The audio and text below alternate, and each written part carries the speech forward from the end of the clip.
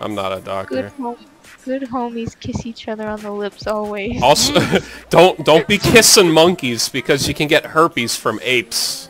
Why am I kissing monkeys? Don't fuck. I ain't I ain't kissing anybody. I'm drawing No. Takisabi. I'm not even No. drawing kissing. I I for like a moment of my life don't. Okay, this is what I do when I'm doing schoolwork. Is I was thinking like, hey, wouldn't it be cool if I could sit down with like an ape and like one of those Japanese like, why are you laughing at me?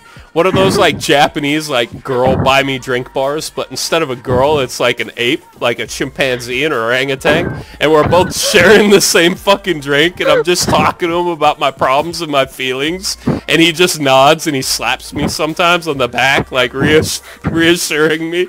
And then I was like, this is this is like this is my future. Like I'm gonna start a bar in Thailand where you can hang out with apes and stuff. And I'm like, I wonder if you can get a disease from drinking like from the same thing. And I guess you can get herpes from apes and also other diseases.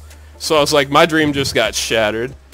I mean, here's the thing, Phil. You just gotta put regular humans in monkey suits. It's close enough.